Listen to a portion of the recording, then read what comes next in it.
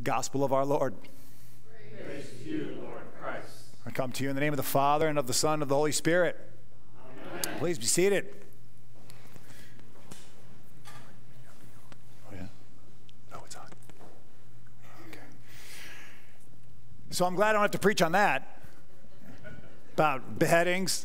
Um, the reason being is because, as we know today, uh, the focus is on Ephesians. We are uh, beginning our sermon series for the next seven weeks. We are going to get to know the Ephesians. Our lectionary will lead us on this journey, so that's built into our lectionary.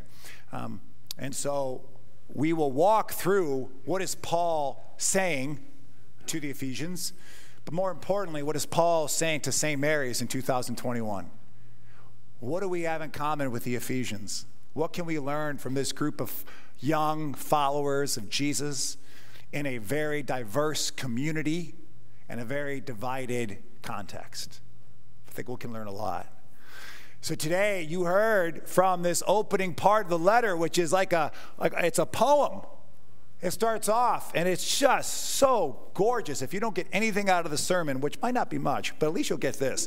Get the first part of Ephesians, this, this opening passage rinse and repeat it every day because this is the crowning gem of who you are and why you are. Paul, let's, so let's get a little context. Paul is, is in prison, so he's not in Ephesus. And we all know what happens when you put men and women of God in prison. They sometimes write some of their best works.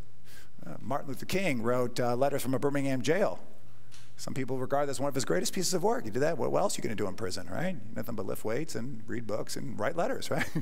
Uh, Paul wrote some of his best letters in prison. And it's important to notice context because he is not living a life of luxury. He is getting beat up. He's probably sitting in his own poop. Roman prisons were not the Ritz Carlton, far, far, far from it. And yet he sings and writes about such beauty and grace in following Jesus Christ. That's the kind of faith we want. That no matter what circumstances are in our life, we can still say, Glory be to God. For I am chosen and I am predestined by God to do great things. That's what this letter opens up with today. So, this uh, community that he has been called to speak to, this community is uh, so Ephesus. So, we know from Acts 12, in Acts 12, Paul goes to Ephesus.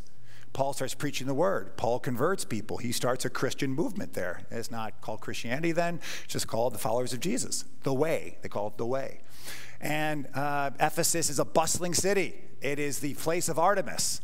So, from a pagan perspective, huge, big temples towards Artemis and towards other gods and goddesses, but Artemis was the main show in town pagans, there's people, different ethnicities, there's Jews, and then there's these wacky, uh, you know, followers of Jesus. So within the Jesus movement, and this is what Paul's mission is that God placed upon him, is that you in that Jesus movement at this time have half which are Jews. Paul's a Jew, born a Jew, died a Jew, right? This, this is, these are, well, he actually didn't die, Jew father of Jesus, sorry. Um, Jesus was born a Jew, died a Jew. Um, so this, you got all these Jews. These Jews have a culture. They have a, a, a different language, speak Hebrew, right, during their worship. Uh, they, they, they have an ethnicity. Some would say a race. They're Jewish. Then over here, you have all these Gentiles who are not Jewish. They don't speak Hebrew. They don't celebrate Yom Kippur. They don't celebrate the big feast days. They used to worship Artemis. Maybe they were pagans. Maybe they did not believe at all. Now they're unified by Jesus. So now go figure out some worship together and go do community together. I mean, just imagine this. So, I mean, we started a relationship with Temple Beit HaYam, and I think uh, Rabbi Durbin would find this very funny. Um, that if this idea, we have a close enough relationship where I can hypothetically say this out loud, that if uh, all of a sudden he said, you know what, at Temple Beit HaYam, we've discovered that we found the Messiah and it is Jesus. I'm like, oh my gosh, all right. Let's start worshiping together. We, we, we all agree on Jesus. Let's do it. How's that going to happen? Do you realize the amount of, I mean, you know this, the amount of culture and history, uh, history that goes into being a Jew? And now you're just going to say, well, let's just throw half of that away and let's just play some praise music and sing some hymns from the 82 hymnal. That work for you, Rabbi? No. right? This is the issue that Paul is dealing with. Because Judaism, you're talking about the chosen people. God chose the Jews. And now they got to let in these other back alley cats who just say, hey, I like Jesus. All right? That, this, is a, this, is, this, is Paul's, this is Paul's mission. How do we find unity in this?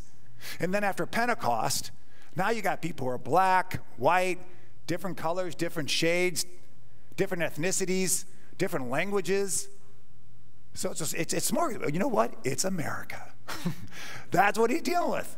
And Paul is saying in here, guess what? You focus on the gift that's been given to you by Jesus Christ, and you're going to be okay. The minute you start getting distracted by all the other stuff, you're done.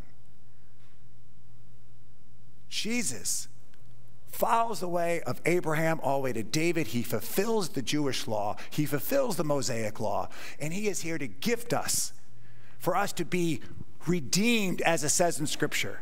A Messiah has come. God has loved us so much. God so loved the, uh, the, the, us so much, they gave his only son.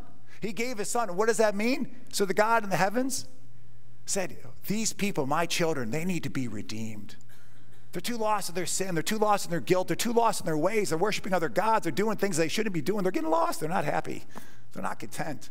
They're aimless. They're living a way of death. So I'm going to send my son to come and replenish, and he will fulfill the law and then unite them all. Remember, Jesus says when he was talking in John, he says, You know, I have another flock over here that I need to go, and I'll bring them, and there'll be one flock. He's talking about the Gentiles. That's what he's talking about. I'm, I need to go get them. So what does it mean now that Paul's trying to save them? This, this opening part is just sort of like a it's a it's like a big cheerleading thing. He's like a big rah rah because the second half of the letter is Paul telling Ephesus, now you got to go on and do the work. You got to go on and serve in the love by, by the love of Jesus. But first you got to get one thing set. You are reconciled by God. You are chosen by God. He uses that word over and over again. This is where John Calvin gets in the mix because he starts saying that you're predestined. And I'm not going to have a, you know, this is not a sermon about Calvinism and predestination and are you a Calvinist and Arminian? That's, you can do that on your own time. My whole point here is that you've been predestined and chosen by Jesus Christ to build his kingdom. Can you accept that? That God chose you. You're not a random creation. You're not a survivalist just trying to make it in today's day and age. God predestined you, God chose you to be part of his royal priesthood. This is not my language, this is the Bible talking. Chose you so you can go follow his way of love through Jesus Christ that no matter what you have going on in your life, no matter what circumstances are going on, no matter what your history is, no matter what you did on the way here to church, you are redeemed and forgiven through the blood of Jesus Christ. You are made new into a new creation. And if you keep on following Jesus in that new creation, you become so overwhelmed in his grace and in his love, all you want to do is transform this world into a world of love. That realization that we sometimes and often forget the continuous way of digesting and receiving this love of Jesus inside of us and the transformation of our hearts through Jesus Christ. No other way but Jesus. No other way. Jesus has to be first. When we do that, it changes our hearts. It changes our minds. It makes us aware of our own prejudices. It makes us aware of our own parts of us that make us a jerk, that make us selfish, that makes us arrogant, that makes us prideful.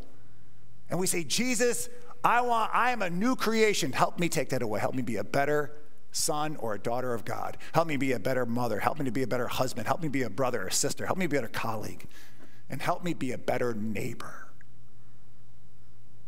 The way of love is what changes and unifies this world. And Jesus weeps to know that the one thing that should be uniting all of us, which is Him, is what divides us the most sometimes. Division seems to be the hot thing. We're tribalistic people. Jesus came to end the tribes. No more 12 tribes of Israel. There's just Jesus. Sunday still seems to be the most segregated day of the week. It doesn't have to be that way. Why? Because we have to commit and say, where does Jesus come? So we can forget about all these other things that try to distract us and say we're just a divided culture. That's fooey. That's what culture says. That's what the news says. That's not the truth cosmically of who we are through Jesus Christ.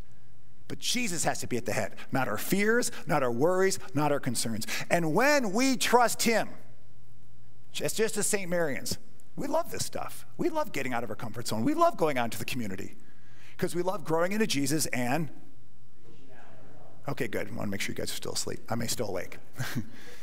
we love to reach out with love. Look at, look at the series we got going on right now. We have a series, a lunch and learn with Rabbi Durbin. That's all started out with. Hoping to get 12 people. Let's talk about Judaism. Judaism 101. First Thursday shows up, 35 of you come. Matthew Durbin's there, Rabbi Durbin starts talking to you about Judaism. Word gets out. Last Thursday, 50, 50 plus show up. Thursday at 12 o'clock, 50 people plus show up. And this time, it's not just Gentiles. Now, we have Jews from Temple Beit HaYam coming over to St. Mary's to break bread and sit at tables and talk about faith. The buzz in that room and the sense of love in that room, also acknowledging that we're just different people, which is great. Just because unity does not mean uniformity. Unity does not mean uniformity. We don't need to be the same. It's great that we're different, it's great that we're diverse, but we can do it in love, and that's how we grow. And so now, here's the best thing that's come out of this so far. Two people, two people so far have said, because of this experience, I have fallen away from the temple and now I'm going back to temple. I need to get back with God. I need to get back in my community. I need to be back worshiping my Lord. Like, glory be, hallelujah. Word, it's the way of Jesus is not like, well, Father Christian, they didn't come to Jesus though. I, I, I didn't see that part yet here in Ephesus, in Ephesians. He's talking about we know we're chosen, and we're choose we're chosen to go out and be follow the way of love. Because what you're going to find in the second part of this letter, he's not saying go out and start hitting the Bible over people's heads and make sure every Jew becomes a, becomes a believer. You got to walk with compassion. You got to walk with patience. You got to walk with grace. You got to walk with selflessness. That's the way of love. Speak the gospel every day when necessary. Use words. Live it. Walk it. Behave like the gospel's inside you because it is inside you because you have been chosen to be his kingdom builder. So when we do that, now we have a third time. The next class is going to be this Thursday. I'm sure there'll be even more people. Jews and Gentiles sitting together, loving each other, talking about their differences in a joyous way. And the beauty of that is the timing is perfect. Because the Department of Justice just came out with their latest thing about the number one um, hate crime right now that's happening in America are anti Semitic crimes. Well, I'm sure our friends down the street don't feel pretty safe. I'm sure they feel pretty fearful. So, who better to be there and say, I want to be in community with you and know how you're doing? But followers of Jesus. Because it's the following of love. That's the way of Jesus. We've been so overwhelmed by God's love, our heart breaks with anyone who's hurting. So here we are in this community where we're all together checking in with each other, praying together, Jews and Gentiles. It's right there, it's right around the corner. We've done the same thing with our prayer walks with our friends in East Stuart. Go and form community. We're united by Jesus there. That one's easier because Jesus is the way. You're a Baptist, you're from the AME, we're different. The way we do things, we look different, we talk different, we sing different. We follow the same Jesus. Let's praise God. Let's go pray for our neighborhoods. Let's go do Alpha together. Let's go do Bible studies together. Let's go preach at each other's churches together. Jesus is the way. All the other differences melt away. Actually, the differences are good, they make us better, new perspectives. So we have a lot to learn from Ephesians. We have a lot to learn from this community that's full of diversity, and there's the temptation of division because it's a temptation. It's erroneous, this division, the tribalism. It's a distraction. Don't buy into it. It sells in the media as division. That's what sells. Unity, love, compassion doesn't sell, unfortunately. But we are following the way of Jesus Christ. So, first and foremost, know that you are chosen.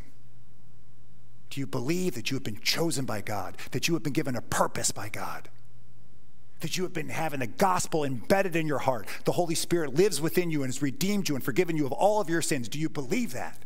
And you accept that overwhelming love that God has for you? Because if you do, the way of Christ is ready for you to go build this kingdom. We at St. Mary's are going to do our part to follow Jesus boldly in our community. So if St. Mary's was taken away somehow, the people would miss us and say there's love gone in our community. So we'll keep on trying new things, throwing stuff at the wall, see what happens, doing lunch and learns, doing prayer walks, getting out there to showing a flag of the unifying power of Jesus Christ. That, we have the book of how we unify. We have the book, it's right here. And we have a leader, and his name is Jesus Christ. And he's called all of us to build this kingdom with him. You are chosen. You are predestined for this work. No matter what your past is, no matter what your gifts are, God will work through you and all of us together to build this kingdom of love and peace and compassion through the power of Jesus Christ. It's going to be a great seven weeks. Rinse and repeat the Ephesians, this first part, chapter one. And we'll be back for part two tomorrow to see where, where God is calling us in Martin County. Amen.